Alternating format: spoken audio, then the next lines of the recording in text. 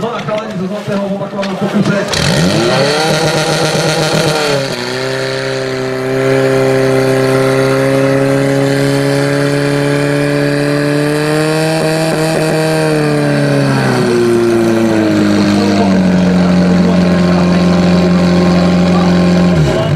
Pokus, čiže ani hadiku nemusíme merať. A v týchto chvíľach posledný pokus, posledný útok.